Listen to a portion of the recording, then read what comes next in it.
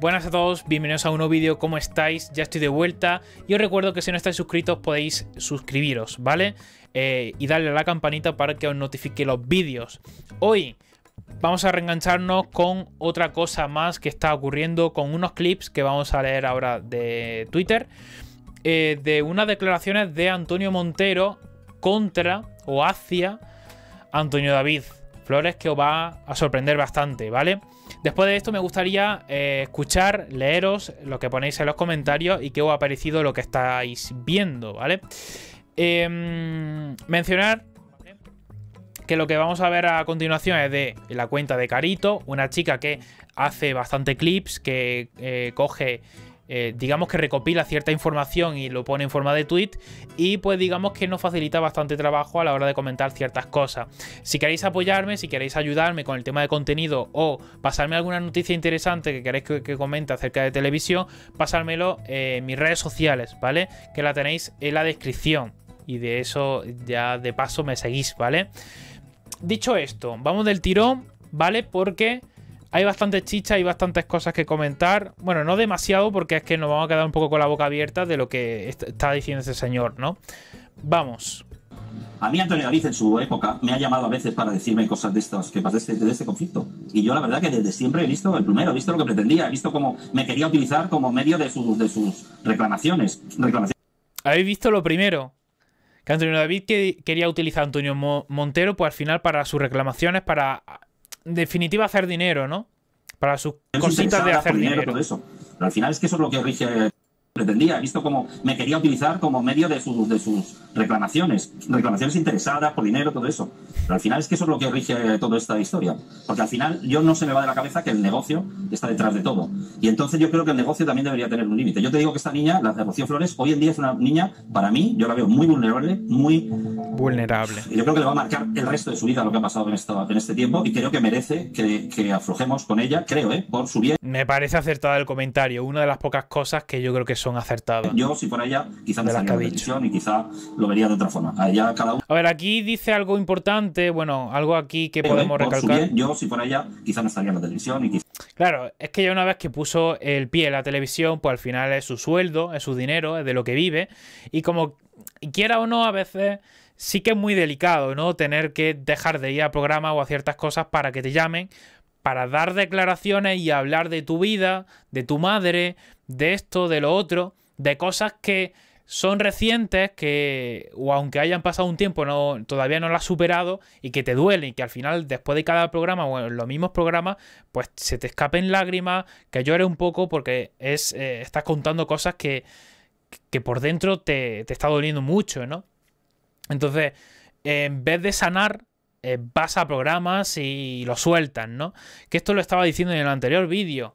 Eh, ya tiene que ser jodido que en vez de mediar de forma privada, que entiendo que no hay nada o no hay una oportunidad o no se puede, por ambas, eh, por ambas partes o por una de ellas, pero joder, estar ahí, dale que te pego, dándole a la bola del show, ¿no? De la televisión para hacer drama de algo que cada dos por tres que lo comenta o lo habla se te está se te llena los ojos de lágrimas joder pues así está la cosa. Obviamente ya una vez que se ha metido en la televisión pues cómo va a salir ya de ella si ya ya de qué sirve alejarse. Quizá lo vería de otra forma. Ya cada uno con sus cosas. Y en cuanto a Rocío te digo que eh, hay detalles pequeños yo te digo una cosa. Yo si si fuera el ex de Olga Rodríguez Moreno perdón y que parece ser que dirige los pasos de de Rocío Flores y si fuera su representante, le aconsejaría, le aconsejaría que se sin duda ninguna, larga. Sin duda ninguna, sin duda ninguna. Y luego, y luego yo... Me hace gracia que no diga Antonio David Flores, ¿no? Jorge Javier. Larga, sin duda ninguna, sin duda ninguna. No lo mencione. Si fuera el ex de Olga Rodríguez, Moreno, perdón. Olga Moreno. Y que parece ser que dirige los pasos de, de Rocío Flores y si dirige. Espérate que esto no, esto no lo ha dicho en el tweet, pero según Jorge, Jorgeja, eh, Antonio David dirige los pasos de su hija. Fuera su representante, le aconsejaría, le aconsejaría que se sin duda ninguna, larga. Sin duda ninguna, sin duda ninguna. Y luego, y luego yo no entiendo a Antonio David, yo la pregunta esta de cómo lo demanda, a mí me parece que le retrata. O sea, yo, a mí, me, dicen la mínima acusación, vamos, ni, ni, ni un 0% de lo que se le ha dicho a este hombre y yo demando a todo Dios.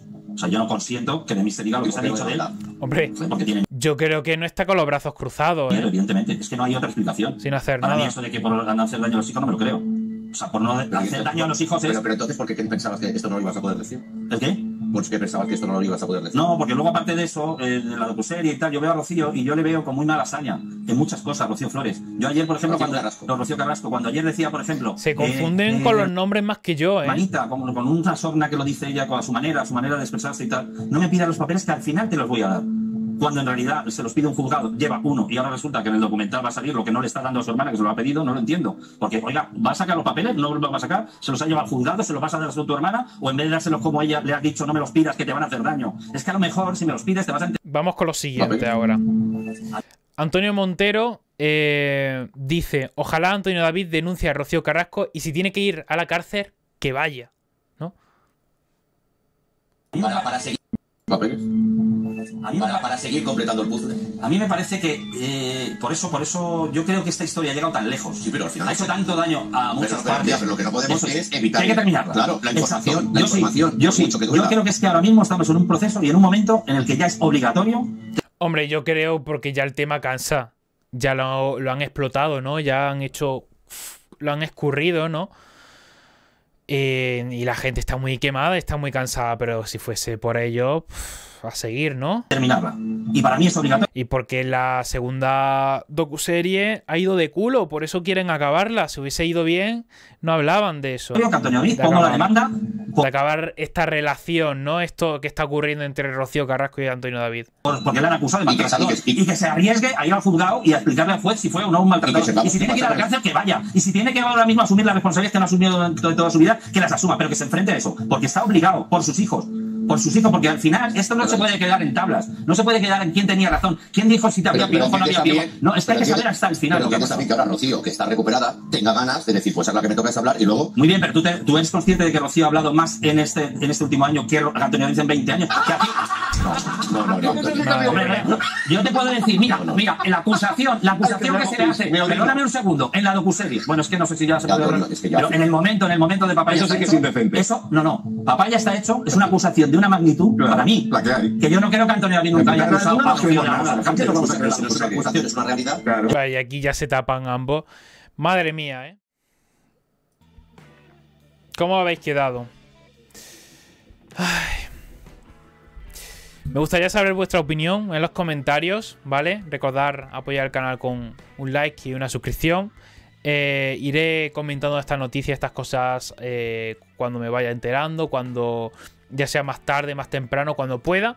Y si que- si queréis darme esa oportunidad de veniros aquí a escucharme un poquito y pues algún otro momento en el canal principal para comentar estas noticias en directo, pues bienvenidos seáis. Y nada, gracias por verme y nos vemos en otro vídeo. Hasta luego.